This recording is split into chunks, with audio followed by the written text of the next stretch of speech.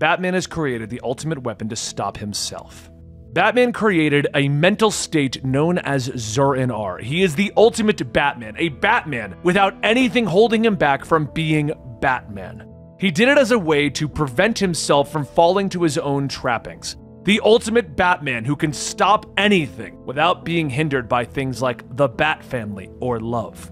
Many issues ago, the Penguin was killed and he blamed his death on Batman. This Zur-En-Arrh Batman, the ultimate Batman, had built a robot that would go out and murder Batman if he was found to have murdered somebody. Failsafe the robot proceeded to then seemingly kill Batman, but at the last second, they programmed him to have compassion. With this compassion, Failsafe the robot teleported Batman to a Gotham that didn't have a Batman, where he then was able to start over, become a new, brand new, reborn Batman. He then chased a villain known as Halliday, who went through the multiverse, creating a dozen new Jokers. And it was Tim Drake who eventually showed up and brought Batman home. Bruce Wayne is now broken. Zur-En-Arrh is locked away in Batman's brain again. Failsafe is missing, and Bruce just doesn't know what to do next. Today is Batman issue 136, and this is Comicstorian. I create audio dramas of your favorite comic books, and today we're going to be continuing the story of Batman's multiversal adventures. After returning from a series of jumps through the multiverse, Batman sits up in his bed in the Batacombs, thinking that he's fine. Mr. Terrific looks at the charts, telling him that he does heal remarkably fast, so he's inclined to agree. Though there is still some residual multiversal energy from his trip. Batman gets dressed, telling him that it's harmless. It'll dissipate with time. Thanks for sticking around Gotham. Thanks for keeping an eye on me, Mr. Terrific. It's my pleasure, but I would be remiss if I didn't ask about.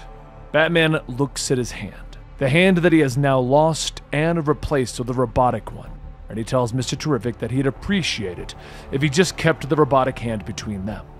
While getting ready to leave, there's a call on the comms, and when Batman answers, Tim says that he was just checking in to see how Batman was doing. Batman tells him that he's fine, and Tim says if he says so. But maybe he should take the night off, and Batman stops him. I'm fine. Any major developments since I've been away?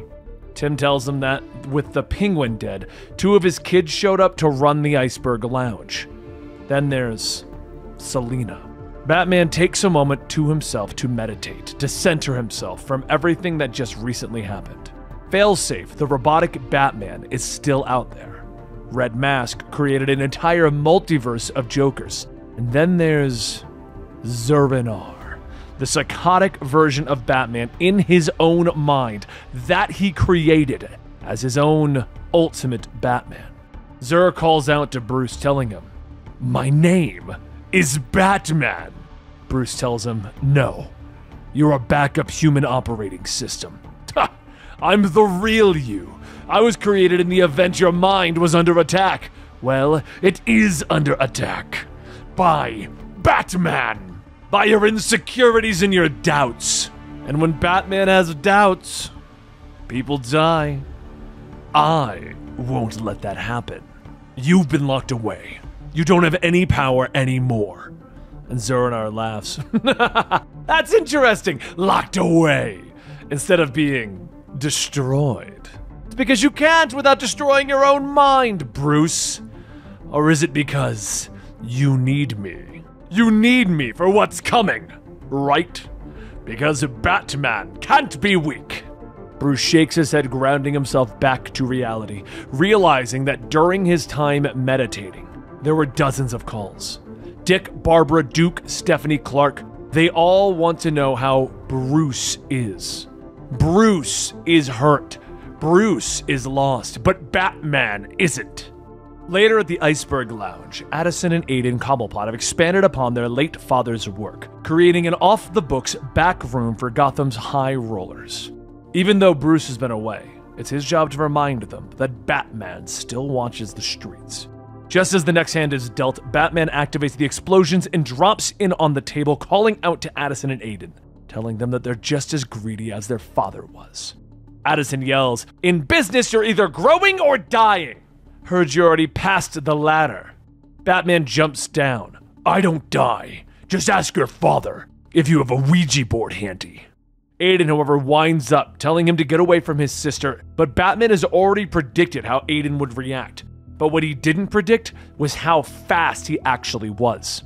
So much so that before Batman could even get a footing, Aiden has already charged and thrown him into the bathroom and was choking him. He underestimated him, and now he knows Aiden can take it. Batman reaches out to grab Aiden's hand, and as he crushes it, he looks at his new hand, not realizing the strength that a robotic hand could have. He hides the surprised look, getting up, telling Addison to consider this a warning. And after leaving there, Batman radios into Babs to follow up on something that Tim mentioned. Something about Selina. Batman's informed that there was a breakout and a handful of inmates escaped, but nobody has heard from Selina since she got out of prison. It's possible that she may have skipped town. They'll keep an eye out for her for him. But there's something else. Babs asks Batman, Did you take off your monitoring systems? I'm not getting a read on your physical condition. Batman ends the transmission. I'm fine, which is only partly true. Batman is fine, but Bruce Wayne is not. And this is the only way that it works out. The next day, a woman stops by a bagel and coffee shop for a late afternoon snack when a voice calls out to her from the shadows. Cats are creatures of habit. The woman scoffs. Bat. After ditching the disguise, Selina says that she heard that he was back in town. Some grand adventure in space this time. Batman says that she broke out of prison. She tells him, yeah, it wasn't doing it for her anymore. It's been weeks since they've seen each other, and he's going to, what, bring her in, reprimand her? Batman says that she killed Valmont to save him. I don't like it, but you don't deserve a life in prison. We've all had to make hard choices, and you turned down my help. My lawyer, Selina. So? She asks him. I freed myself instead of using your money. I'm a ghost now. And maybe that's what I want to be for now. A fresh start, something new. Like Oswald. Batman stares. What?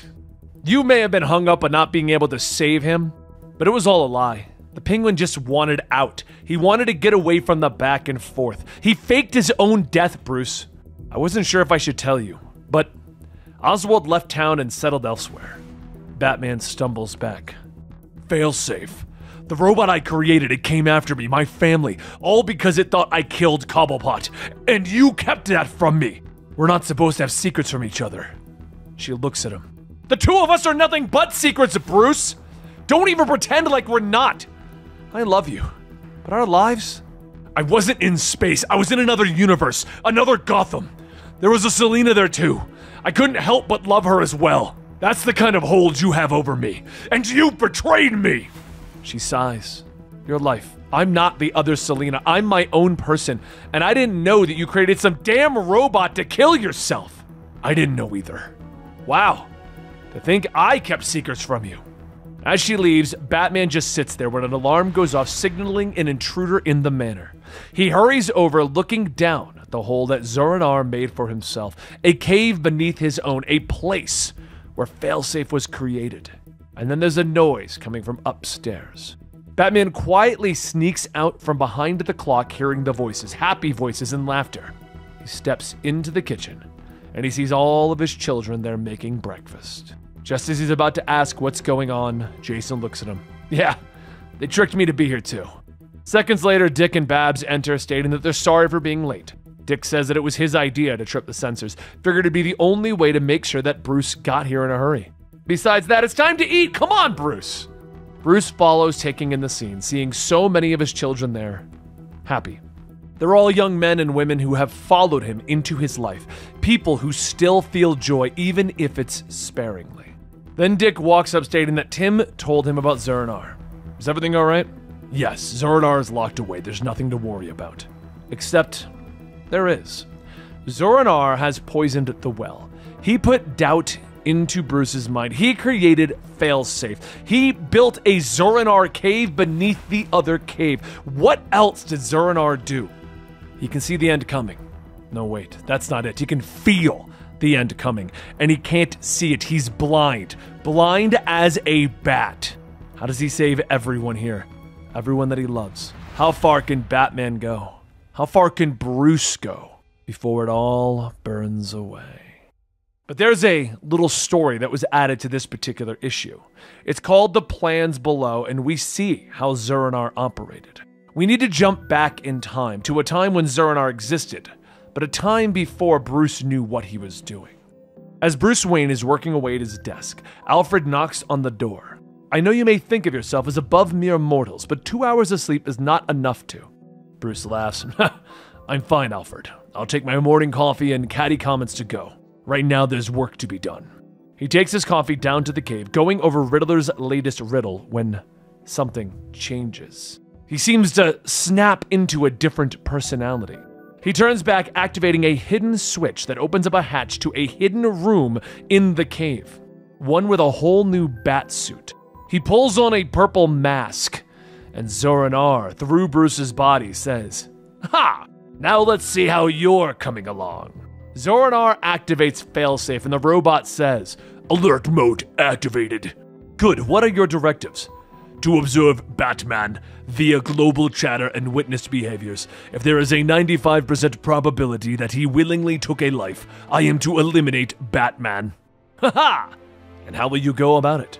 I will kill Batman, a conundrum, a paradox, to murder a man for the crime of murder. Zur-En-Arrh steps over into the training area. Batman isn't just a man, he's a force of nature. And if he's got a taste for blood, he'll never stop killing. That blood will run into Gotham's soil and a new world will grow in its place. Zur looks at Failsafe. Can you kill him? Failsafe shuffles out of his capsule. Yes. Show me. Zur-En-Arrh begins to spar with the robot, but soon Failsafe grabs him. I will observe and make determinations, and it appears Batman has gone too far, which means Zur grabs two injectors, slamming them into Failsafe. Failsafe eases back. You cannot! And Zur scoffs. Ha! Time to get back to work. My programming is incomplete. When I accomplish my mission, then what? Zur-En-Arrh tosses Failsafe back into his capsule. I'll be back with your next update. He takes off the mask, walking back to the computer, and goes through the prior night's arrest. Mugger got lucky last night. Landed a 2x4 in my chest. Be better, Bruce. Soon after that, Bruce blinks, continuing his research on the Riddler, completely unaware that he is now missing 20 minutes. And there you have it, Batman 136. Now, I was going to wait for a few issues, but this kind of felt like the perfect Bridger issue to come out of Batman and the Batverse and set us up for the next big storyline. Plus, I also wanted to bring you that backup that kind of gives you the origins of Failsafe. I thought you guys would enjoy that one. This is an incredible Batman book. Chip Zdarsky, the writer for this, is just doing incredible work with this, and I love it. It's one of my favorite Batman stories. So I hope you guys enjoyed it as well. Make sure you like, subscribe, hit that notification bell, and we'll be back with more very soon.